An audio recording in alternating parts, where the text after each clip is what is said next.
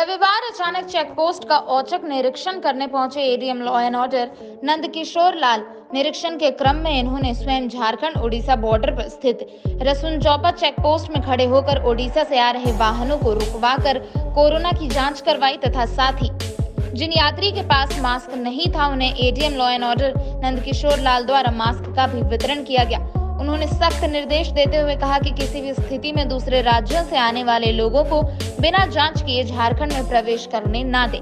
यदि जाँच के दौरान रिपोर्ट कोरोना पॉजिटिव पाए जाते हैं तो उन्हें उसी समय एंबुलेंस बुलाकर अस्पताल में भर्ती कराया जाए, क्योंकि उड़ीसा एवं बंगाल में कोरोना संक्रमितों की संख्या बढ़ती ही जा रही है।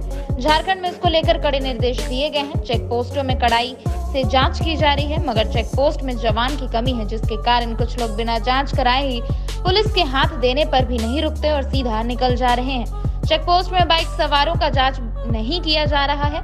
साथ ही जाँच टीम में को खोकन पात्र एकमात्र एलटी है, जिसके सहारे उड़ीसा झारखंड के चेक पोस्ट में कोरोना की जाँच की जा रही है।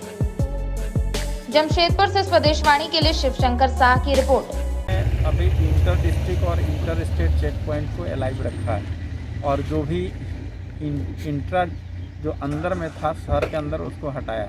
और हम लोगों का एक ही उद्देश्य है, जो भी बाहर से लोग आते हैं, उनके 100 परसेंट एंट्री हो जाए होटल में एंट्री हो जाए 100 परसेंट उसका टेस्ट हो जाए।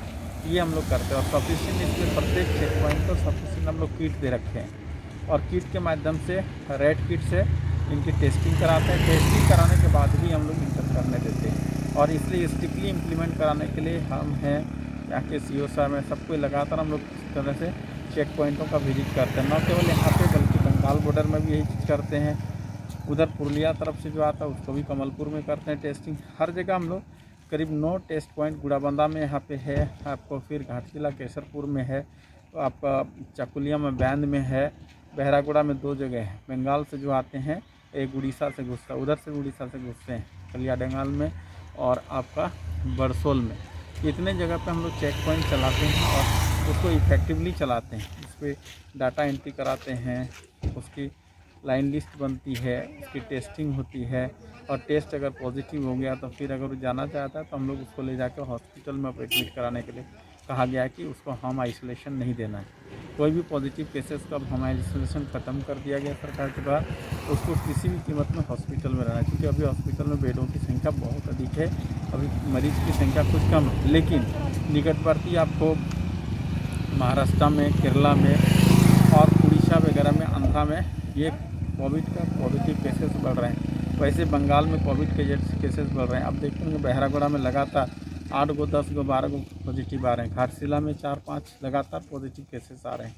तो इन सब चीज़ों को देखते हुए हम लोग थोड़ा सा प्रिकॉशन ज़्यादा ले रहे हैं ताकि भविष्य में हम लोग को कम कठिनाई का सामना करना पड़े। इसी उद्देश्य से हम लोग ये सब कार्य कर रहे हैं। सर जाँच जो कोविड की जाँच कर रहे हैं स्टाफ कम है कहाँ समझ में नहीं है? नहीं स्टाफ तो हम लोग के इतने स्टाफ चाहिए एक टीचर है आपका एक एलपी होता है। और चूँकि जिस तरह से फ्रिक्वेंसी है एक एक एलपी को 250 तक टेस्ट करने का कैपेसिटी है। और लेकिन यहाँ पे जनरली आपको साठ सत्तर अस्सी नब्बे इतने ही लोग आते हैं बाहर से। इसलिए सफिशेंट स्टाफ है। लाइन लिस्ट बनाने के लिए टीचर कर ही देते हैं। ऊपर से एक एक हम लोग ऑपरेटर भी दे रखे हैं।